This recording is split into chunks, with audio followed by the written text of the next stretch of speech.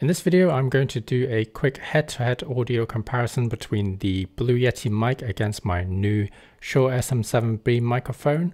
I'll switch the audio between the two mics and put something on the screen so you can see or hear which one you're listening to throughout this video. Quick disclaimer, I have purchased both mics with my own money. This video isn't sponsored and I don't get anything free from it. I just wanted to see how they compare against each other, so maybe you will learn something along the way with me.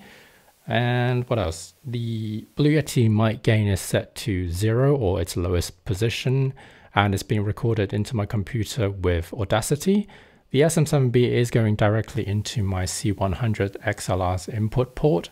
It's set to about 6 out of 10 on the gain dial, and usually I would do um, some audio processing, but in this case, I'll leave it as bare as possible. And I'll just normalize both of the audio tracks to 23 LUFS. And also just to mention, my room isn't treated, so there's a lot of um, bare hard surfaces. The Godox light that I use do have fans in them as well, so they're not super quiet. With that being said, here's a quick intro about the Blue Yeti microphone. I have owned the Yeti for nearly a decade now and I have always liked the way it sounds. It has a multi-polar pattern setting that you can change with the dial at the back. It's a condenser USB mic that costs around 120 pounds here in the UK or about 160 dollars. At one point, this mic seemed to be the most popular mic on YouTube, uh, but nowadays it seems to be the Shure SM7B that's getting all the spotlight.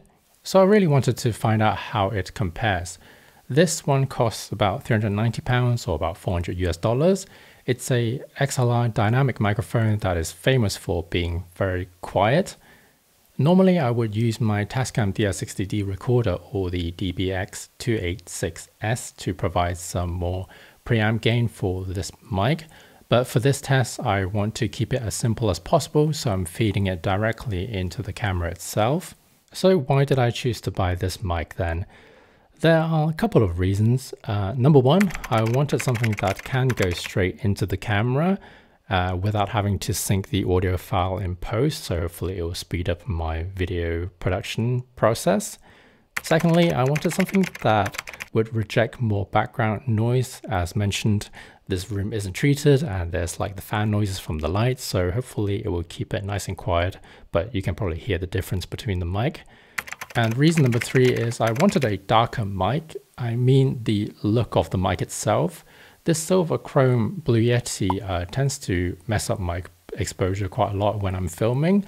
It's just a minor issue that sort of bothers me. Obviously, it doesn't affect the audio quality itself, and the top priority should be the audio quality, of course, but this is just something that I prefer this matte black over this chrome silver version. Although everyone's voice is different and this mic tends to be quite warm or dark in terms of the tone, I have yet to see a bad review for the SM7B on the internet.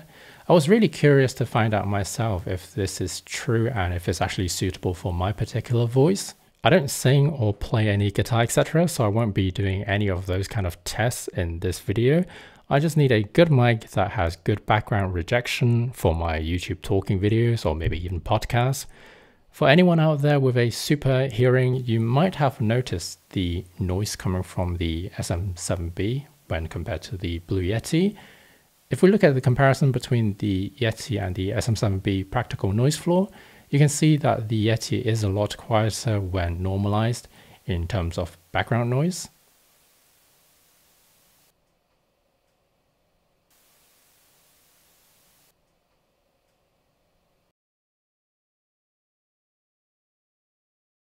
The Shure is famous for its quiet output, so it's not really a big surprise to be honest. Like I said, I have the Tascam and the DBX that I would normally use, which helps to eliminate some of the hissing noise. And I have a Fethead on order, which I will cover in a future video.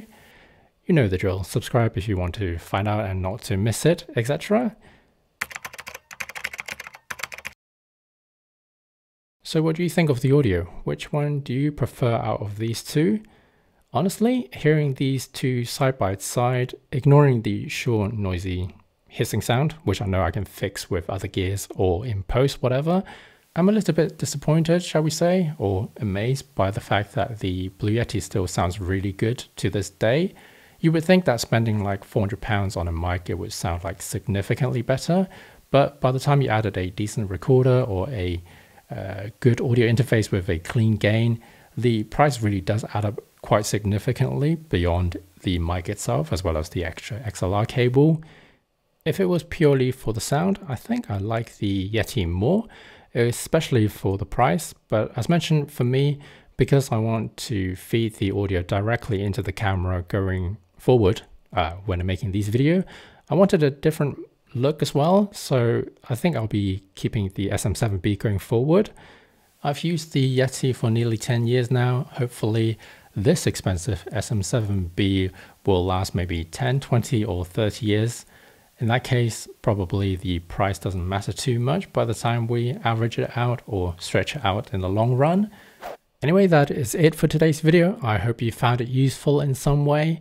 As mentioned, I'll be doing some more testing with the SM7B going forward with the DBX as well as the Tascam recorder, plus the Fethead that I recently ordered, so I'm waiting for that to arrive.